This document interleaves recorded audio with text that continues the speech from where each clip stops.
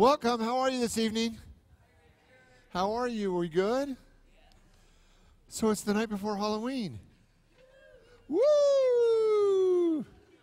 It's two nights before All Saints Day. Woo! We're glad you're here. So there's two things every Wednesday night we want to do. First one is that we want you to have a profound experience of God. The second thing is that we want you to be inspired to live the greatest possible life you could live, to really live the life that your soul came to live. And so our job is to support you in both those places. And if we do that, we feel like we are very successful. So we're glad you're here tonight. You ready to get started? Okay, you ready for the opening statement? Is it there? I love it when it works. You ready? Our opening statement for tonight is I go deeper into God. Is that what it says? Great, I love it. I go deeper into God. This is the conclusion of about a two month process we've been doing on going deeper. And so tonight it's all about going deeper into God. And so I'd like you to say it with me one more time as we go into our, our, our opening prayer. Together, I go deeper into God. So we open our minds, our hearts, our souls as we go deeper into God. Deeper into the infinite presence and power and love and life that God is in us. That there's one presence and one power God the good, omnipotent. And that living life force, that holy of holies, that glory of God is the very essence of who we are. And tonight we move our attention inward and we touch the Holy of Holies and know that we are one with all that God is. And so it is. Amen. Okay, our church mission statement, let's affirm that together. Unity of Phoenix is a loving spiritual community that welcomes all people and honors all paths to God. We are dedicated to transforming lives by inspiring and awakening one another to discover God's Spirit within them.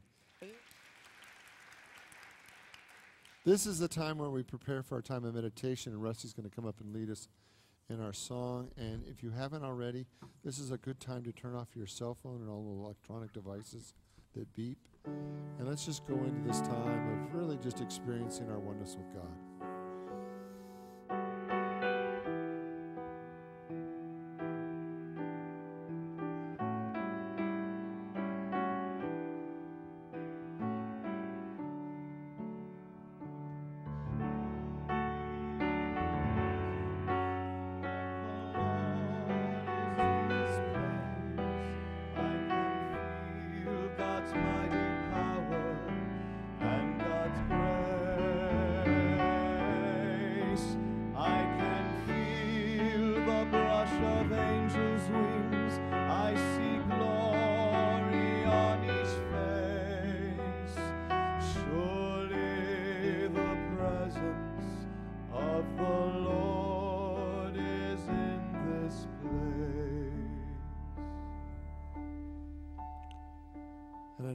Take a big breath.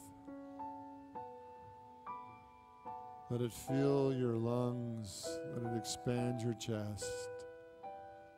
And then when you're ready, I want you to exhale completely.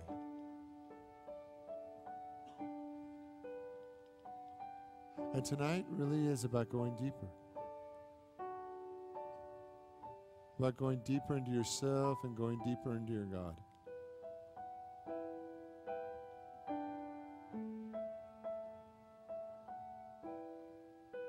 And to ask the question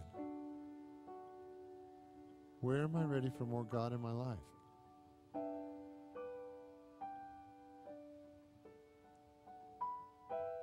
Where am I ready to be more blessed?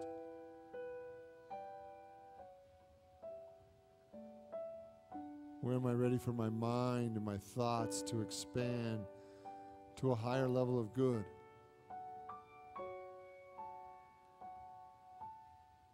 Where in my life am I ready to walk in more grace?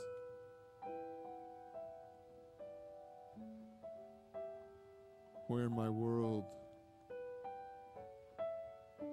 Am I ready to be more at peace?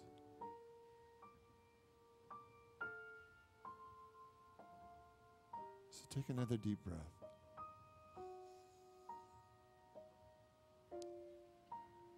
As you exhale this time,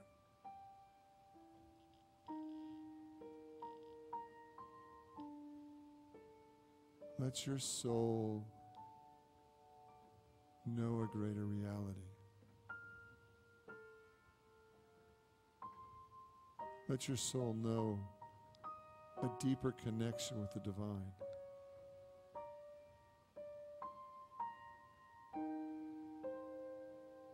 For we are always one with God. But as that knowingness, as we become into that conscious realization of our oneness with God, it changes everything. To know God. To know God deeply, profoundly.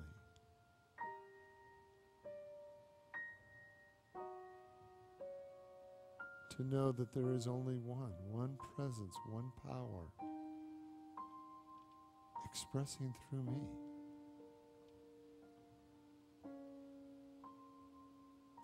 That I am God's beloved. That I am sacred and whole.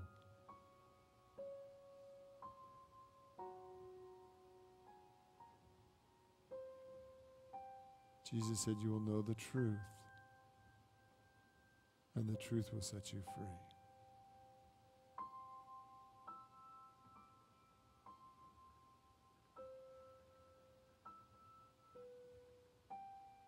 I am ready for more God.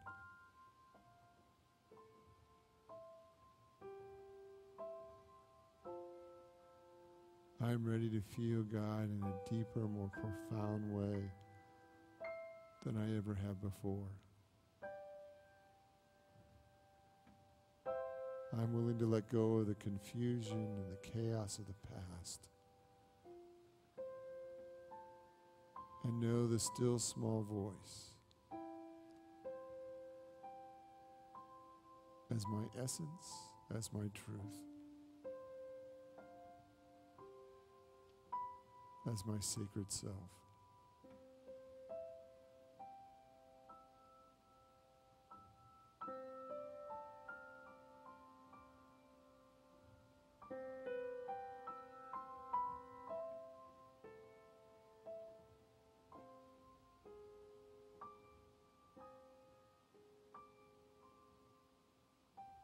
You, God, for creating me in your image and in your likeness. Thank you, God, that we are one. That what you are, I am. That whatever I need, whatever's going on in my life, that you are my source. You are my infinite good.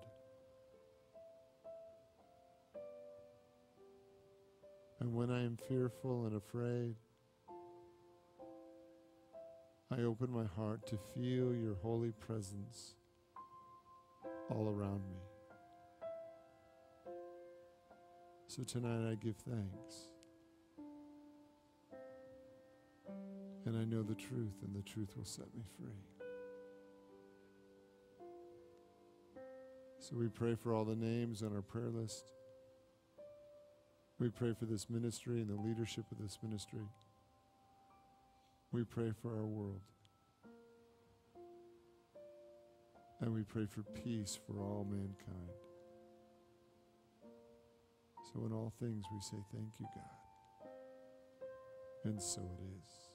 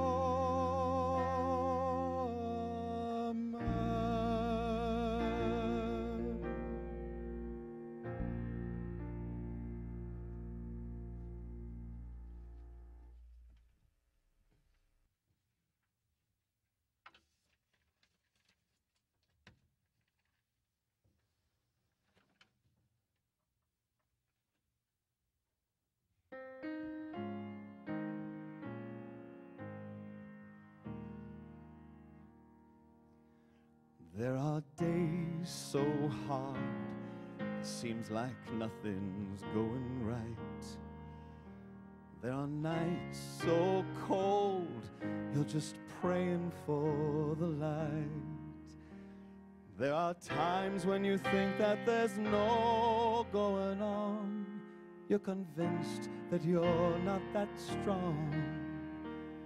But just then, a day like this comes along.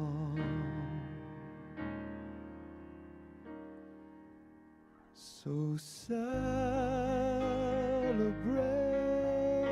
your life today. Great and joyful things have come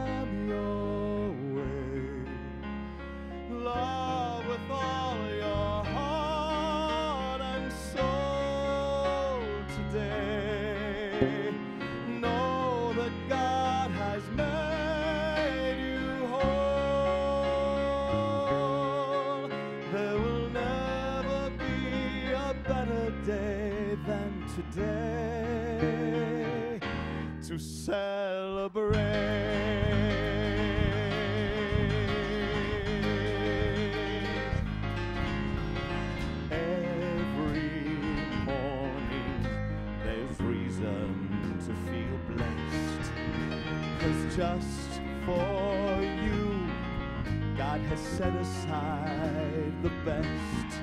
You can do whatever you dream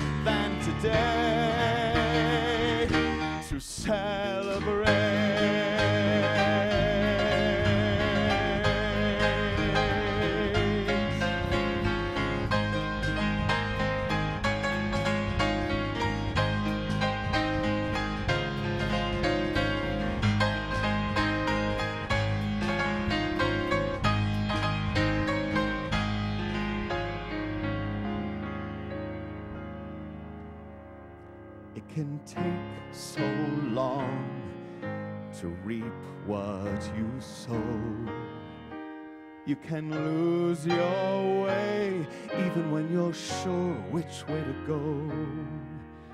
So why wait to appreciate what you have now? You already understand how. You just open your eyes and heart as wide as they'll allow.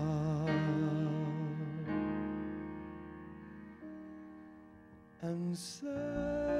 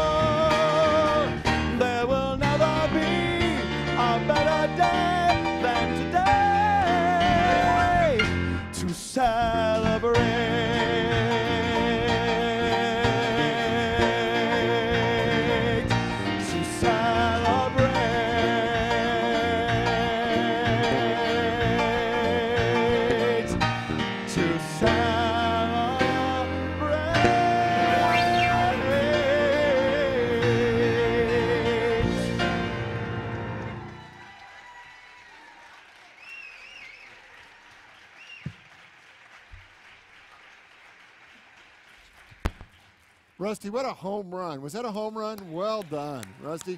Guys, thank you, Craig. Fabulous. Guys, thank you, thank you. Good job.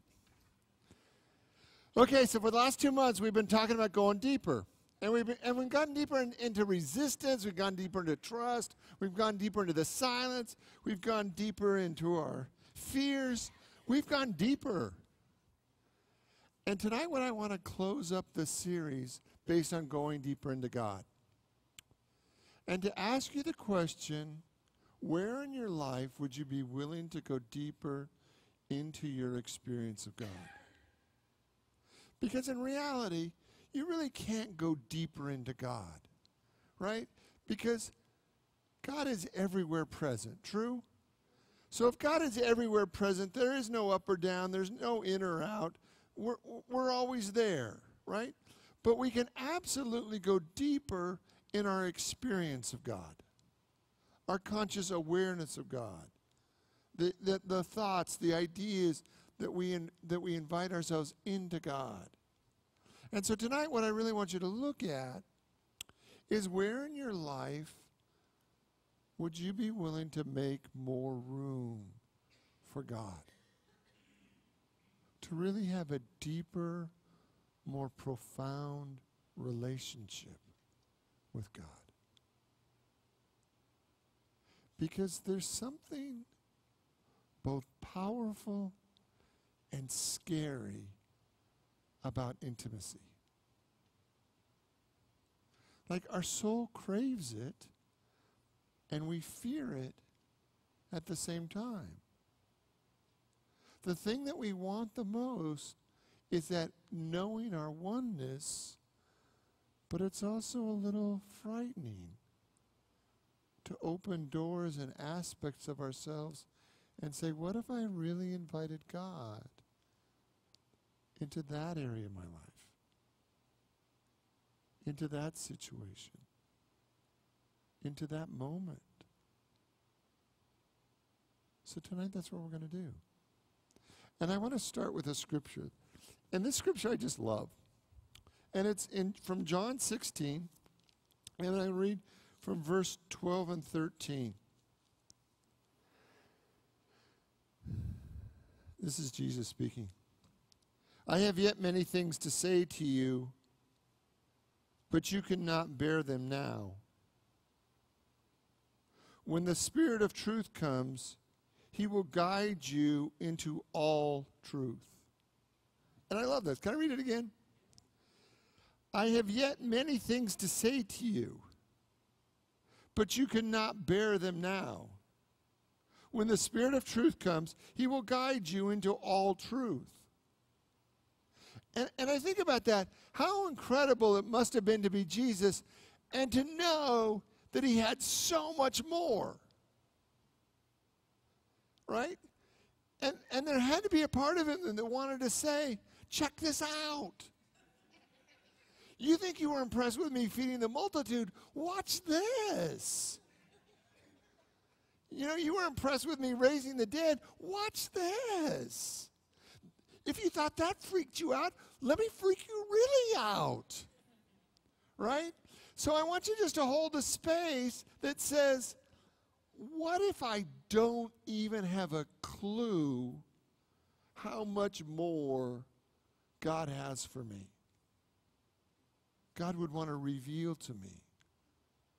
God would want to bless me with. And in my experience, many times, we're in this relationship with the divine where we say, I want more, I want more, I want more, but not that much more. Or I want to be blessed in this area, but only exactly how I think it should show up. And what if you were willing to access the level of God that Jesus accessed? What if you were willing to know God the way Jesus knew God? And what would it take to do that?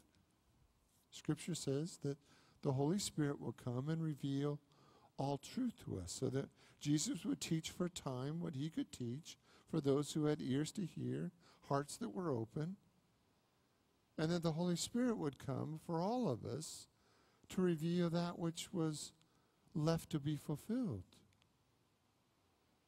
And so, in your life, can you imagine that there is a space where God still wants to reveal more Godness to you if you were willing to receive it?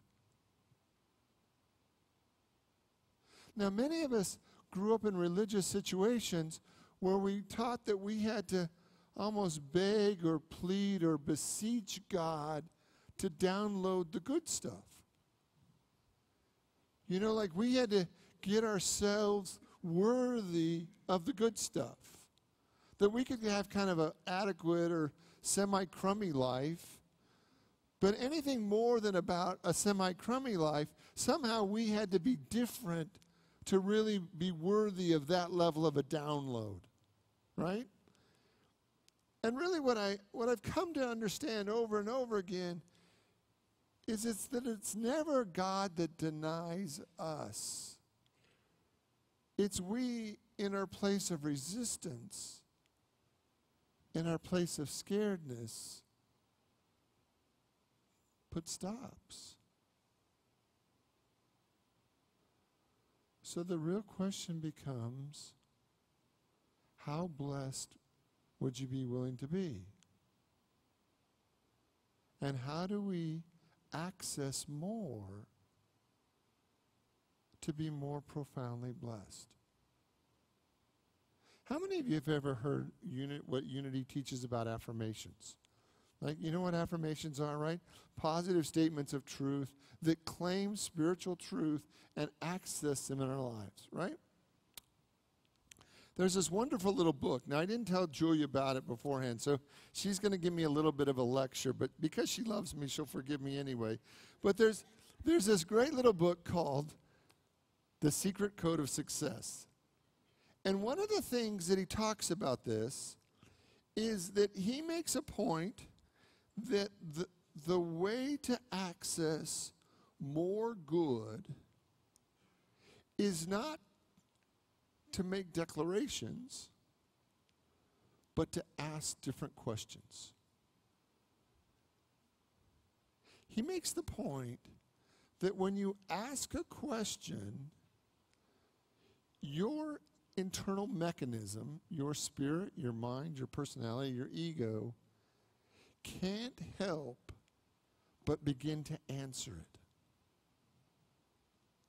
Right?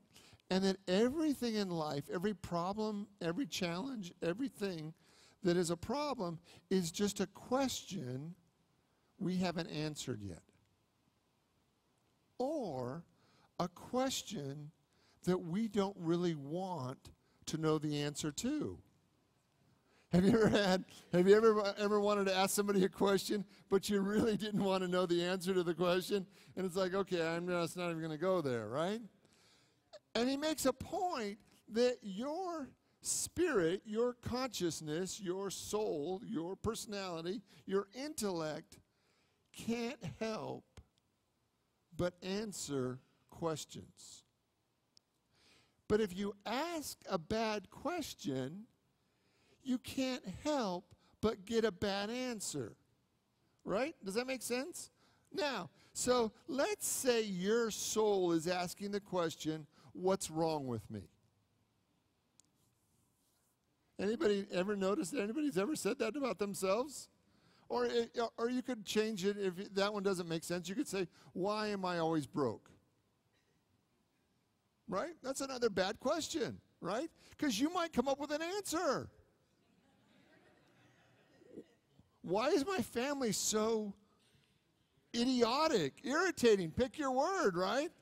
And, and what happens when we ask a bad question over and over again is the universe will give us an answer. And we actually begin to believe the answer even though it's not true. And so what we begin to access is very limited levels of good. Because we're asking bad questions, so we actually work on an answer. So we t- make up a story. We make up a, an answer to a bad question that makes it look like it's right. So if you if your soul, if your personality is asking the question over and over again, what's wrong with me? Trust me, you'll come up with an answer. And if you don't, your family will. right? But what if we began to change the questions that we ask that would actually begin to access the next level of the Holy Spirit in our life? What if we began to ask, what's the easiest way for me to be blessed? What's the, why is it so easy for me to be successful? Let's say that together, would you? Why is it so easy for me to be successful? Why is it so easy for me to have deep and profound loving relationships together? Why is it so easy for me to have deep and profound loving relationships? Now, can you imagine when you change the question, the answer has to change? And then, the, then your mind, your soul, your, your spirit, your essence begins to work on the giving you the answer for what you really want, not for what you think you're supposed to find the answer to, to a problem that was never intended to be yours. What is the easiest way for me to create the level of abundance that I desire? How do I create the house and the life of my dreams? And I want you to see that simply by asking a different question, your soul begins to access God in a way that's different by just changing the question. So, what, you ready for your first homework assignment for tonight? I want you to make a list of the five most disempowering questions that you ask yourself on a regular basis. Right? Right? I want you to just pay attention to the thought process that's going on in your mind on a regular basis. And I want you just to become aware of the five most disempowering questions you ask over and over again. And, you know, it can be anything. Why do my kids behave this way? Or why does my boss treat me so poorly? You, you could ask, I want to know what the five most common disempowering questions that you're asking over and over again. Because I want you to see that, believe it or not, they are funneling your spirit down a path you don't want to go. So if you begin to just become aware of the five most disempowering questions you ask, then the next homework assignment, can you guess where I'm going? What would be five new empowering questions that would actually take you in the direction you would like to go in accessing more life, more God, more good in your life? Now, when you ask a question of the Spirit, of, of, the infinite, of life, of God, the number one thing you have to assume is that it's going to be answered. That's also the good news and the bad news, right? So you're going to come up with an answer, right? So let's assume that the questions you ask are true. One of the examples he gives is somebody who was in, active in this ministry who wanted to sell their house, and they began to ask, How is the easiest way for uh, me to sell my house at the right price to the right people?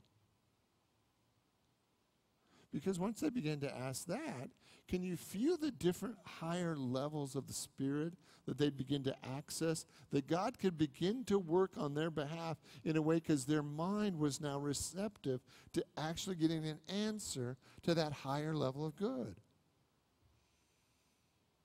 What would be the easiest way for me to have the job that I would love? And you get to decide on your five questions the questions that would change and transform your life the most. You get to decide. But what I want you to see is that you were given access to the infinite.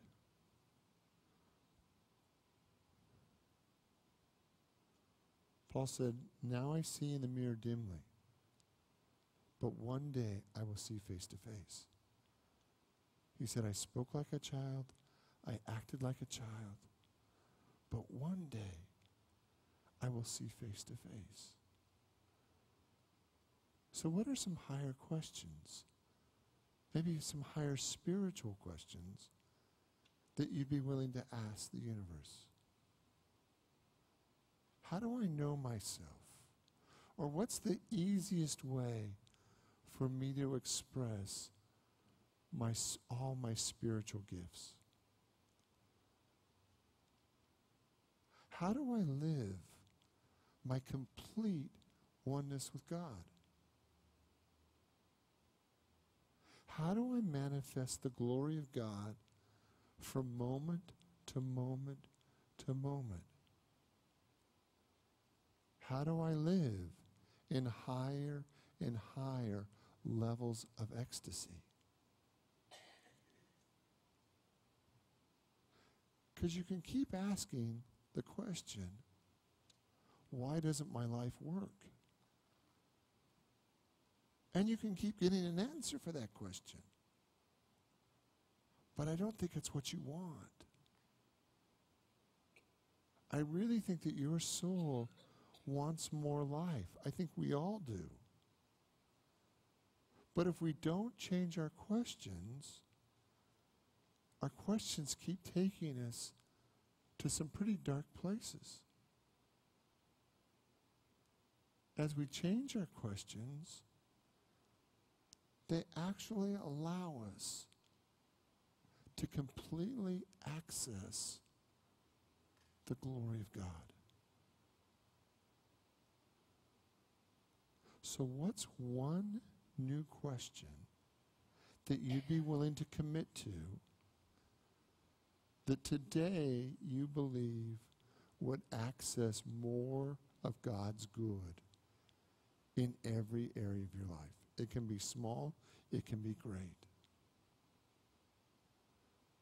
But I wanted you to go back to that idea that we have no idea how much good God has for us. But if we change the question, we could actually know that. What is the easiest way for me to access the divine in every area of my life. What is the greatest level of good I can know at every moment of every day? Because as you begin to put yourself to work, your mind, your heart, your soul to work, it will actually answer the question. Would you be willing to try? Can you see, and so help me with this one. Can you see how you've asked bad questions before and gotten bad results from those questions? Does that make sense? Can you see ways that you've maybe even impacted your family, your family life, your relationships, because you were asking questions that were destructive? Can everybody see that? Can you see the way that it's impacted your work and your your prosperity because we were asking bad questions and so the universe was actually assumed that we were smart enough to know what we wanted right and it was trying to reveal the negative to us and it just got very distorted. Can you see that in your life? And can you also see that as you change the question there's no limit to how much God you can begin to access. How do I access the divine in every moment of my life? Wouldn't that be an interesting question to ask? Right? That there's no limit to what you have access to. Let's pray. And I invite you to open your mind, your heart, your soul to the activity of God tonight. And God, I'm ready for more. I'm ready for more joy. I'm ready for more peace. I am ready for more. And I make a soul promise to myself that I'm ready to ask different questions. I'm not going to ask anymore why things are bad or broken or less than. I'm going to ask how they can be holy and great and loving and divine. In the name and through the power of the living Christ, we give thanks that we are so wildly, wildly blessed. And God, we are interested how to magnify that in every area of our life. And so it is. Amen.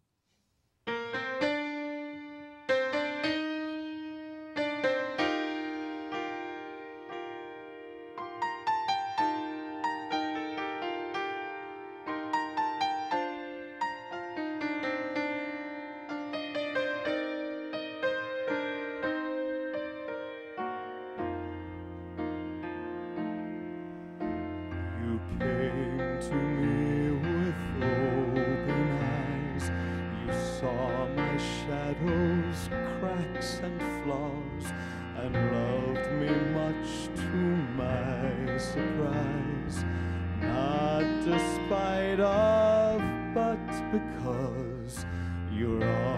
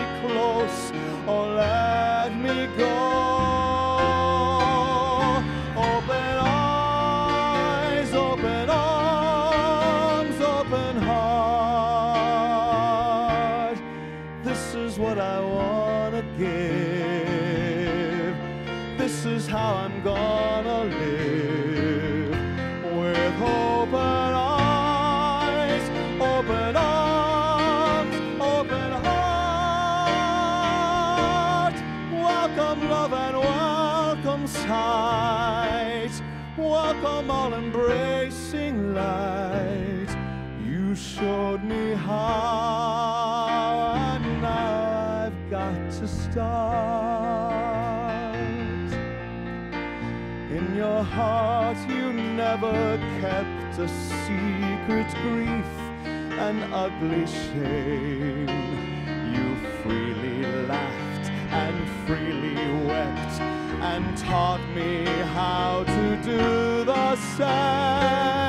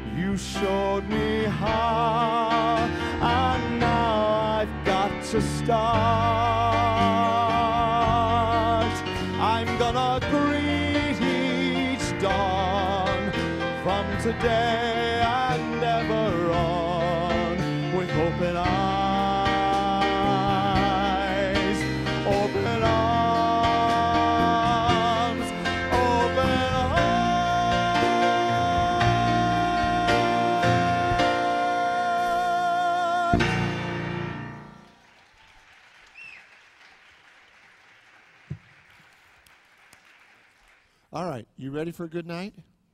Okay, tomorrow everybody be safe. All right? The light of God surrounds you, the love of God enfolds you, the power of God protects you. Okay, now let's stand, let's sing together a song of peace, and go have a great evening.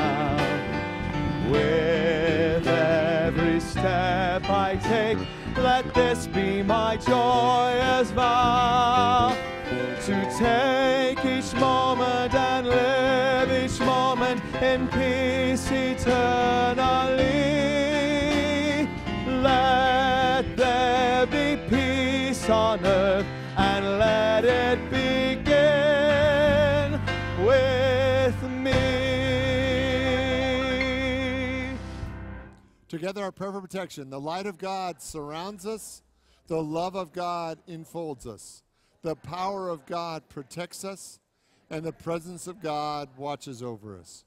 Wherever we are, God is. God bless you all. Have a great week.